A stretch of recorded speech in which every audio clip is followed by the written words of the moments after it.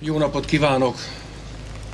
Tisztelt alelnök úr, államtitkár úr, főigazgatóasszony, tisztelt képviselőtársak, tisztelt megyei közgyűlési elnökök, tisztelt jelenlévők!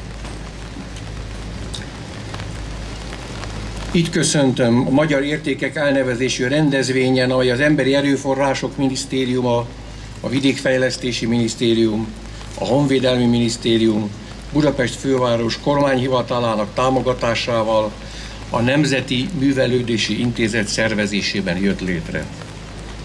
Nekem személyes megtiszteltetés, hogy a budapesti kormányhivatal nevében Szent István országának fővárosában, itt a Szent István téren, a Szent István bazilika ölelésében köszönhetem az ország 19 megyejének képviselőit és azokat a nagyszerű, tehetséges embereket, akik idehozták és bemutatják tágabb lakóhelyük, megyéjük értékeit.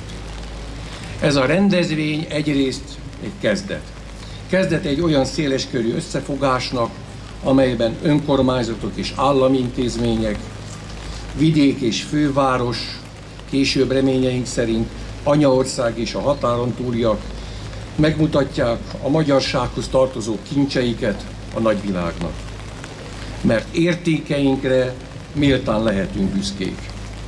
Ezer évet is meghaladó történelmi múltunk súlya alatt úgy születtek kulturális és tudományos eredményeink, ahogy a föld mélyében teremtődnek a ritka gyémánkristályok.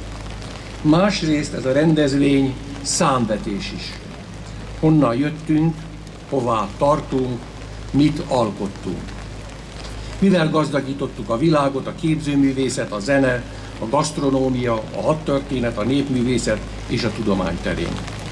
Itt ezen a téren több mint 100 magyar település, 24 felállított sátorban, 600 fellépővel hívja fel a figyelmet egy-egy megye sajátosságaira.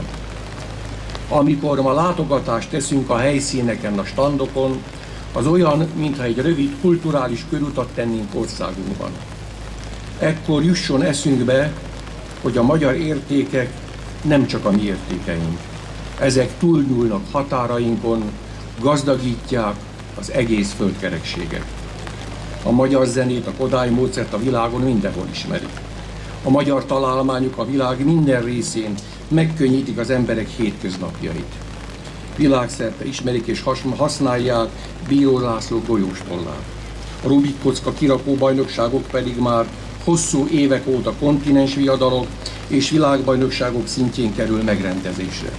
Sőt, a Google és a Liberty of Science Center amerikai tudományos intézmény Rubik kocka kiállítással és online programsorozattal ünnepli a találmány 40. születésnapját.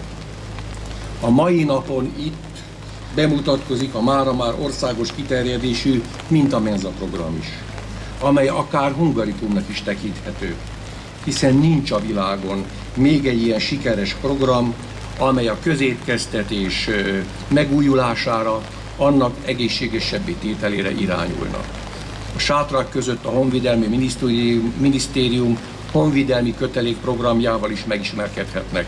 Még többet megtudhatunk a magyar huszáról, mely a tervek szerint hivatalos hungarikummá válhat a közeli jövőben.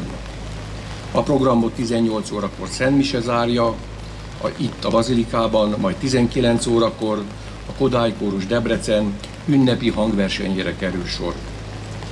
Tehát itt most elindul egy rendezvénysorozat, amely reményeink szerint hagyományá válik. A szervezők szándéka, hogy évente egyszer, így az ősz kezdetén a világ magyarsága összegyűjjön, annak képviselői elsősorban, és hogy megmutassák ennek a nagyszerű és különleges népnek az értékeit. Hogy lássa a világ, hogy jelen vagyunk és alkotunk. Köszönöm, hogy meghallgattak.